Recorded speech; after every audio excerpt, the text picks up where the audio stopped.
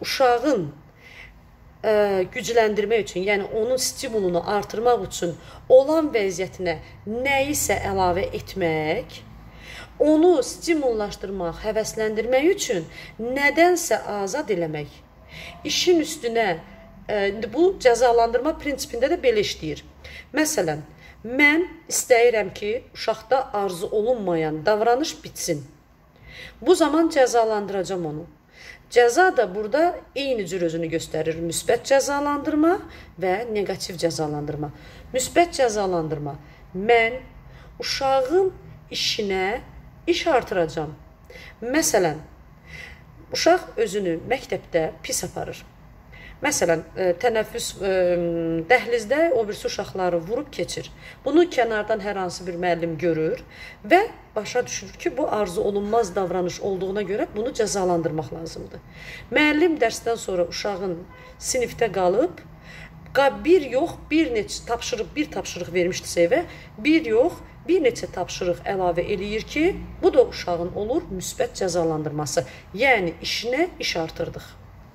Neqativ cəzalandırma uşaqdan nəyisə almaqdır. Məsələn, həftə boyu uşaq özünü pis aparıbdı. Həftə sonu valideyni onu aparacaqdı, tutalım ki, akvaparka və valideyn həftə sonu uşağa ə, e, özünü həftə boyu pis apardığına görə və ya da hər hansı bir arzu olunmayan davranış nümayiş etdirdiyinə görə sadəcə olaraq akvaparka aparmır. Niyə? Çünki onu cəzalandırır. Bu hansı cəzalandırmadır? Neqativ cəzalandırma. Və yaxud da ə, e, uşağın öyrəşdiyi ə, e, hər ə, e, gün baxdığı saat 9-da fərz eləyək ki, baxdığı bir cizgi filmi var. Və ə, biz uşağı cəzalandırmaq üçün arzu olunmayan davranış nümayiş etdiribdi.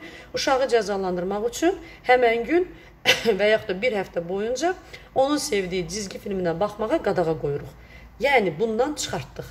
Deməli müsbət gücləndirici və müsbət cəzalandırmada ə, e, hər ikisindən nəyin işin üstünə nə isə əlavə olunur, neqativ rəğbətləndirmə və yaxud da neqativ ə, cəzalandırmada nə isə çıxarılır. Fərqi odur ki, birində arzu olunan davranışı inkişaf elətdirmək üçün edilir, digərində isə arzu olunmayan davranışın qarşısını almaq üçün edirik.